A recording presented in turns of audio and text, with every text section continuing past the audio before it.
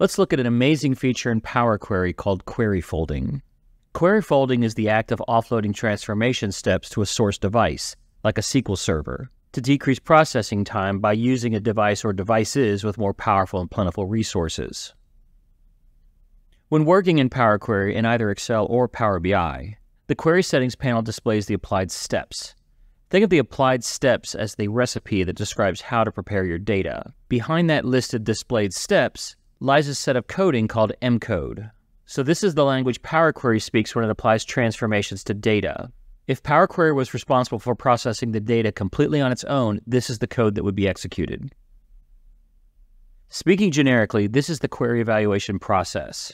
We use Power Query to create a set of transformation steps, whose point and click actions through the user interface are turned into M code. That M code is then submitted to the Power Query engine.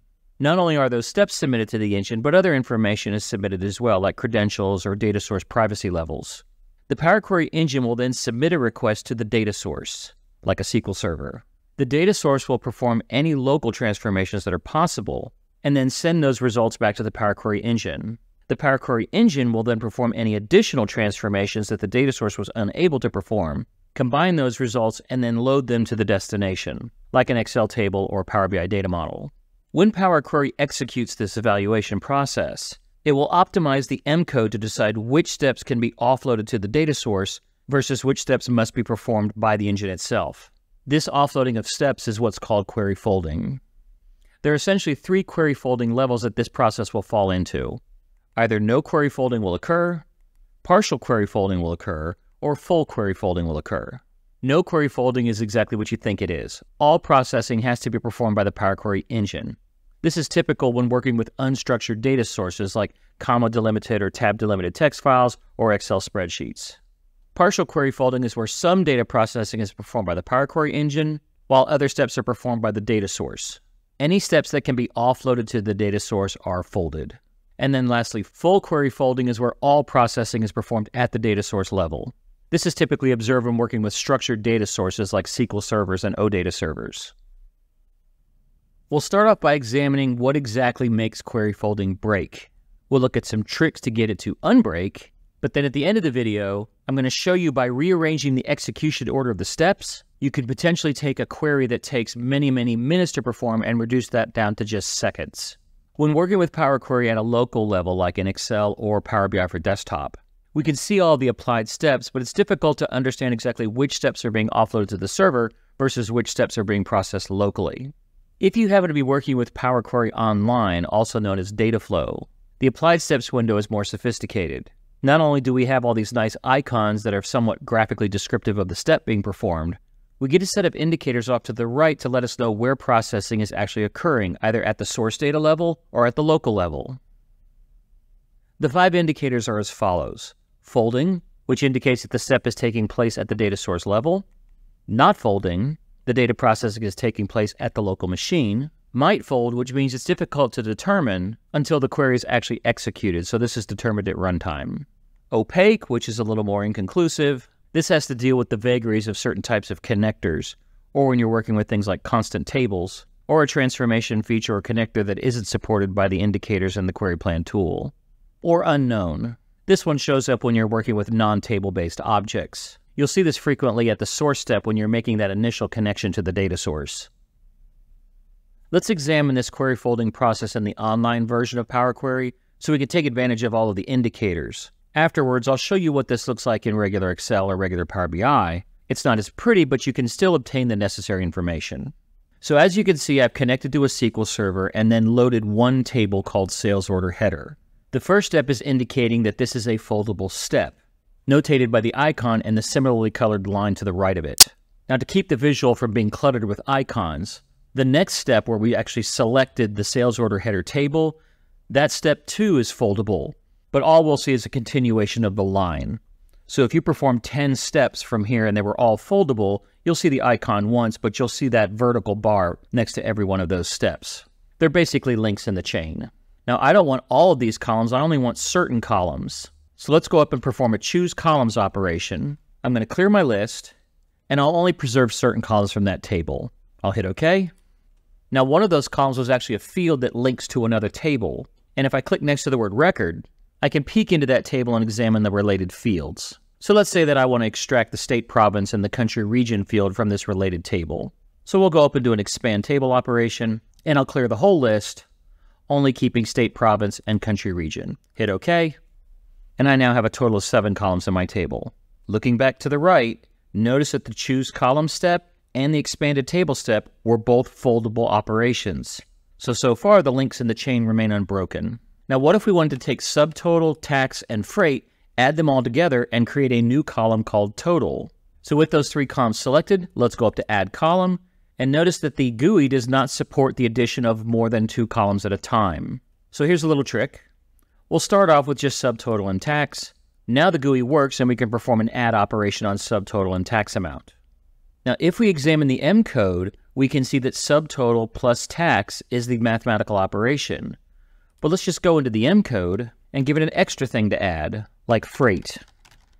So even though the GUI only supports the addition of two columns at a time, we can use that to get the wheels moving and then we can add as many columns as we like. Looking at the applied steps, this inserted addition step is a foldable step. In other words, this can be performed at the data source level.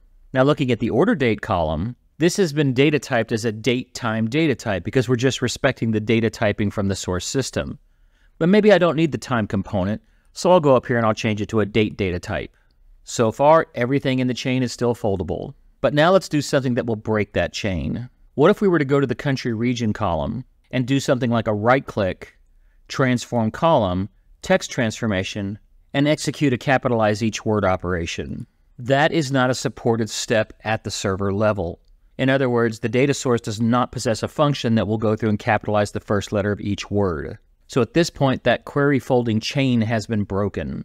Now, what if I want to only keep states or provinces that are not England? So let's go up and perform a simple filter operation. We'll remove England from the list, hit OK. Even though the SQL Server possesses the ability to perform a where operation and perform filtering, because we broke the chain when we capitalized each word in country region, filtering can no longer be folded back to the server. Let's go up to the addition column, give it a rename, and we'll call this total. Renaming is typically a foldable step. But because we broke the chain when we capitalized each word in the country region, everything from this point now has to be performed locally. So let's go up to total and do a descending sort. Sorting, which is also typically something a SQL Server can perform, is now having to be performed locally because of that same problem. So we can see here in the indicators, everything from source to change column type is foldable, but once we hit capitalize each word, we broke the chain, and now everything has to be performed locally. Now, there is an exception to this broken chain process. The manipulation of the country region column is what caused the chain to break.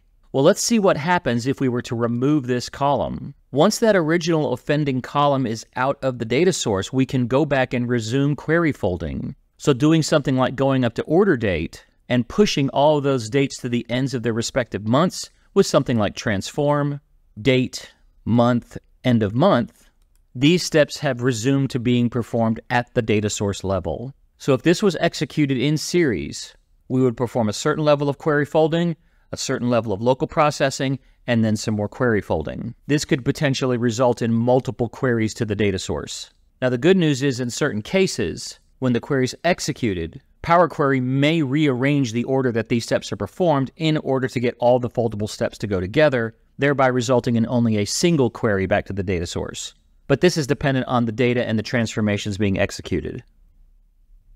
Here we are in Power Query back in Excel. Now, unfortunately, the Applied Steps interface doesn't have all those beautiful icons and indicators, but we can still determine exactly which steps are foldable and which are not. To figure this out, if you go to a step and right-click, in the right-click menu, if you see the option that says View Native Query, this is a foldable step you get to see a translated version of the M code that's going to be sent back to the data source. So if I were to go up here to source and do a right click, notice view native query is not visible. This step falls into the camp of unknown. Because it hasn't communicated with the data source yet, it hasn't been able to download any of the schema information to understand what that source is capable of. Now, once it does, the next step, navigate, which is a foldable step, that behavior will be applied retroactively to the source, and the source step will be folded. So looking at choose columns, view native query, this is the code behind it. Notice this code is substantially smaller than the code before, because if we had stopped at the navigate step, these are the instructions that would have been sent back to the server and then what would have been returned as a result. This is returning all of the columns from the table. But the next step has eliminated some of those instructions to tell the server we only need a subset of fields. This instruction has the potential to greatly reduce processing time because you're not downloading a whole set of information just to turn around and throw it away. Here's the next step where we extracted columns from an adjoining table. This performed a left outer join on the two tables. Then the inserted addition step, which took subtotal, tax, and freight and created a new column called total. The next step, change column type, is where we perform that data type conversion on the order date field. Now here's the point where in the previous version of query folding, the chain was broken, the capitalization of each word. If I right click on this step, view native query is not selectable because this is not a foldable step. Now, even though filtered rows is typically a foldable step to a SQL server, if we right click, view native query is not available because the chain was broken. And as long as that column that broke the chain exists, nothing from this point forward will be folded. We go to sorted rows, which is something a SQL Server can do, but we right click, view native query is still disabled. Removing columns, this was the step where we actually removed that offending column.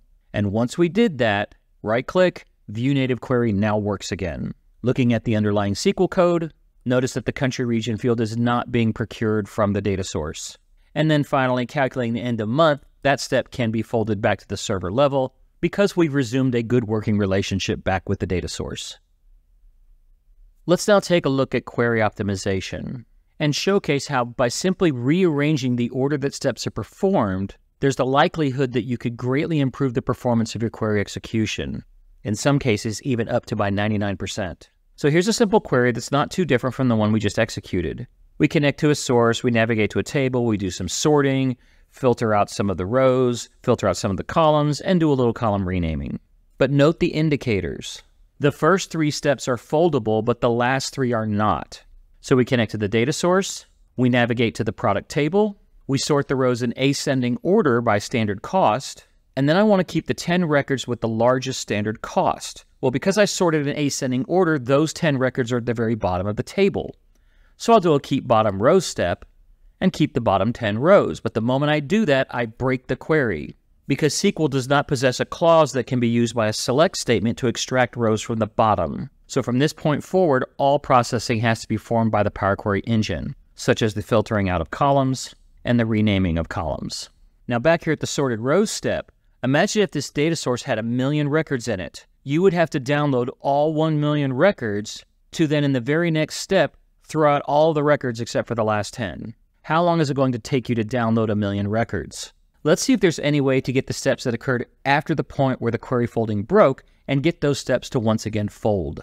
Let's take choose columns, which is really just vertical filtering, and let's perform that vertical filtering before we perform the horizontal filtering or the row filtering. So we'll take choose columns and move it up above the kept bottom row step. And notice now the selection of the columns is once again foldable. So the moment we extract rows from the bottom, the chain is broken, and then everything that comes after it is also broken. Well, let's take rename columns and put it above the point where query folding broke. Now we've offloaded even more of that processing back to the data source. Even though we have most of the steps folding, we're still having to download a million records just to turn around and throw most of them out.